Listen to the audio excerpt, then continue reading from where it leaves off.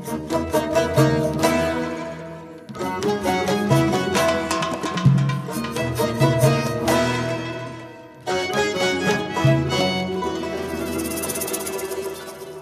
gülşene vardı. Çiçekler güldü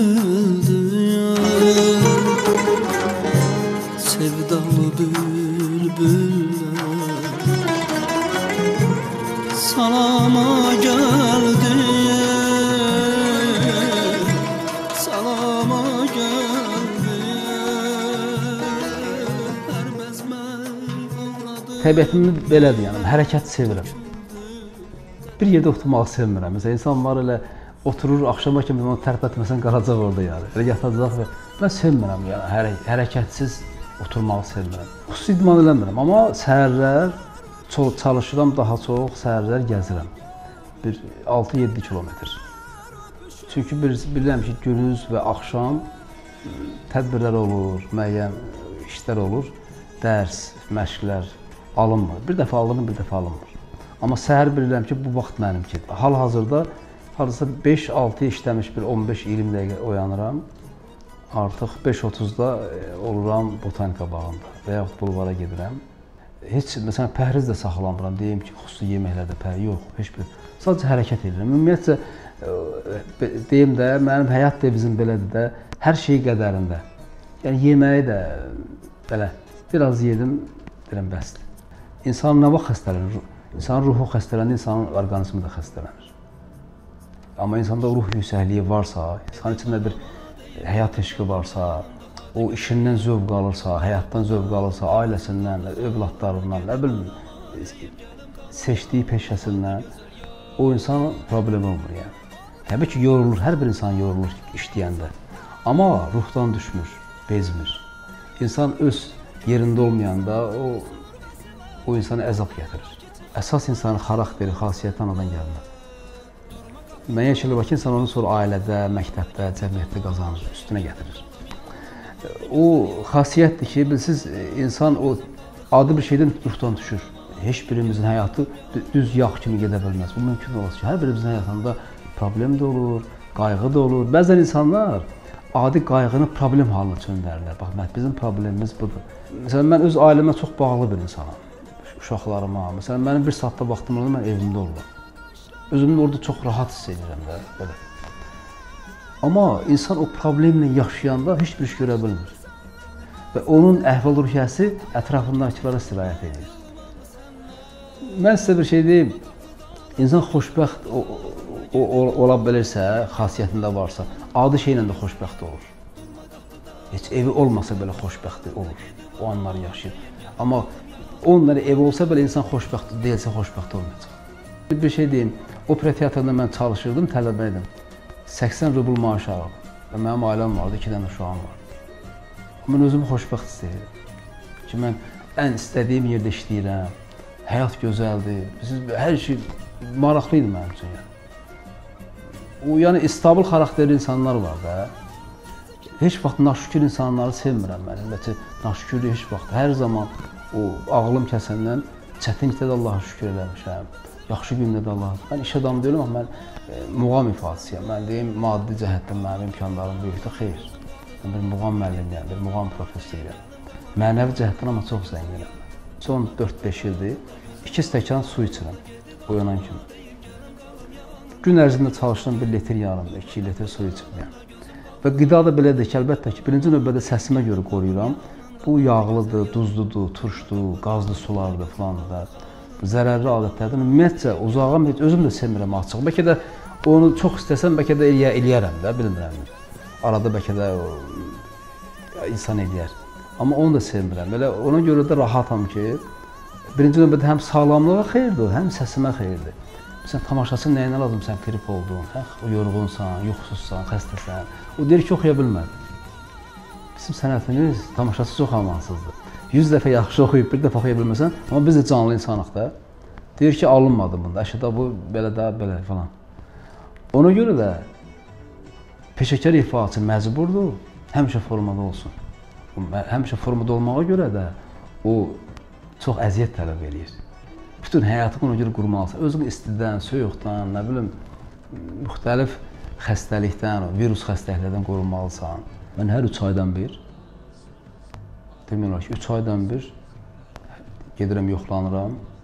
Amma əsas ən çox getdiyimiz bizim foniatrımız var. Bizim çox, çox biz sevinirik ki, Bakımızda foniatrımız var, Fəxriyə xanım. Bu son vaxtlar yəni yox idi indiyə qədər. O səs həkimidir.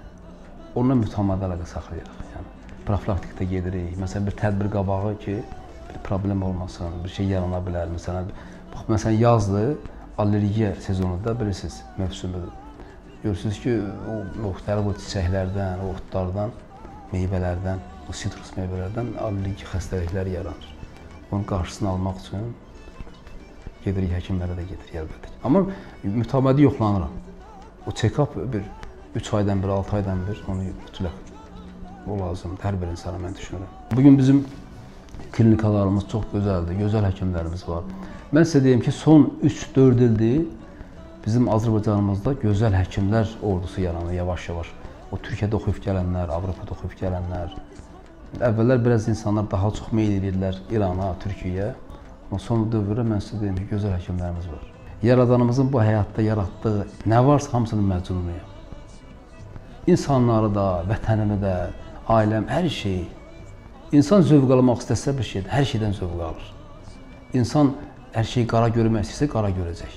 Bir insan səhv axtarsa onu tapacaq.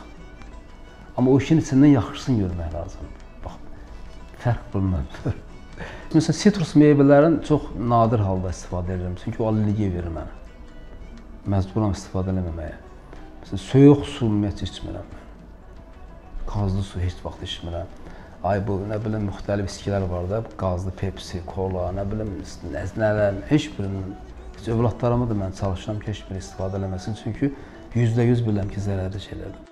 Sağlam qocalmaq arzu edirəm özümə də, hər kəsə də ki, nə qədər ömrü yaşayıramsa yaşayım, onu sağlam yaşayım. Heç kimə ehtiyacım olmasın, yəni hərəkət baxımından, nə bilim bir belə gözün görsün, qulağın eşitsin, ağlın başında olsun. Allah bu bədəni, bu orqanizmi bizə əmanət verib hər bir kəsə. Biz bunu qorumalıyıq. Kim ki onu qoruya bilirsə, kim ki ona əməl eləyirsə, Allah ondan razı qalır və ona pis xəstəlik də vermir. Kim ki qoruya bilmirsə, artıq onun öz problemi. İnsan qocalmaqdan ölmür ki, insan xəstəlikdən ölür. Allahın verdiyi o canı, o bədəni, orqanizmi qorumalıyıq hər birimiz. O əmanətdir bizə. Bax, birinci növbədə insan bunu düşünsə, onu özünə qəbul etsə o fikri, hər şey yaxşı olacaq. Zərərli adətlərdən uzaq duracaq. Deməyəcək ki, əş ömür bir dəfə verilib bizə. Ki, ürəyim istədiyi kimi yaşayayım. Amma ürəyi istədiyi kimi yaşamaqdan sonra da bir o ömrünü 20 ilin o xəstəliklə keçirir, yerdə sürünə-sürünə keçirilir. O e, kef eləmək üçün. Bilirsiniz, ona görə də onlar boş-boş söhbətlərdir, boş sözlər danışır. İnsan içməsə də xoşbəxt ola bilir. O üzüstdən bir spirtli içki içib bir yarım saat, bir saat xoşbəxt olub, sonra da onun əziyyətini çəkmək xoşbəxtlik deyil ki, yəni. İnsan o əhval özündə yarada bilir. O bir gözəl bir poeziya ilə, gözəl bir musiqi ilə, övladları ilə, nə bilim, həyatdan, təbiətdən zövq ala bilir insan.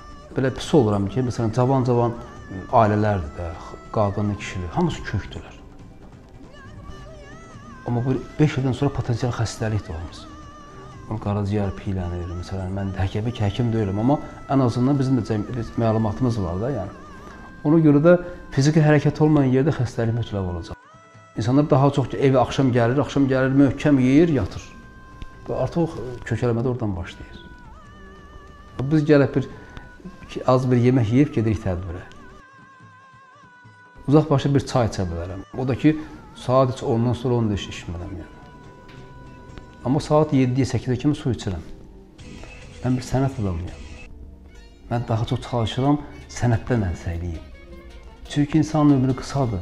Biz qarğa deyilik ki, yəni nə qədər 300 il yaşayaq. Bilirsən ki, bəlli bir ömrün var. 50, 100, nə qədər nə vaxtsa da yəni bitəcək bu. Ona görə də bu yaşadığım ömrü yatmaqla keçirmə yəni. Onu səmərəli keçirmək lazımdır ki, nəsə eləmək lazımdır.